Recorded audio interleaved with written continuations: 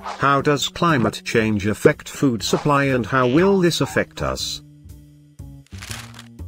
This is Fred.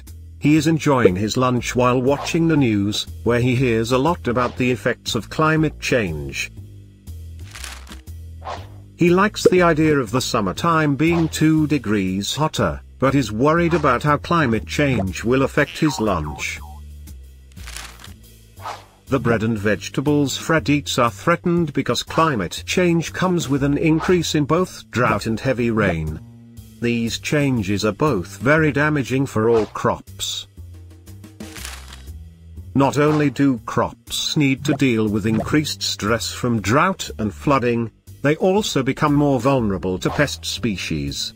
Sure, irrigation could be a solution for droughts, but increased evaporation will lead to salification of the soil. But what about the rest of Fred's sandwich? The cattle that provides the meat will also suffer from drought and flooding. Fred could always choose to eat fish instead. But fish reserves are already at an all-time low due to overfishing and pollution. Not only that, climate change will also have a negative effect on the fish stock. Carbon dissolves in ocean water, where it creates an acid, increasing the acidity of the water. Calcium binds with this acid, reducing calcium availability for microorganisms. These microorganisms form the base of the entire oceanic food web. So if they are having difficulties, so is everything else. Including Fred's fish lunch.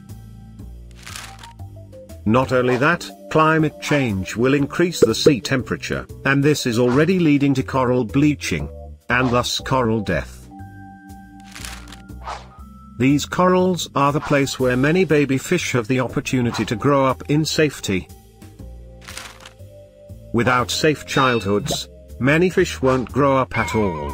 So Fred might actually be in trouble. Maybe not today, and maybe not tomorrow. But it already affects many people. And it will affect Fred. And maybe even more important for Fred, it will impact his children. But it doesn't have to be this way. By decreasing carbon emissions right now, many of the bad consequences that will hurt Fred and his children, can be avoided. And everyone can help. Everyone can make a difference. By eating less meat, by reducing your own energy consumption, by taking the bus or bike instead of the car by supporting your government in taking the right actions. By demanding that they meet the goals set by them in reducing their carbon footprint. All changes help, all changes will improve the world we leave for us and our children.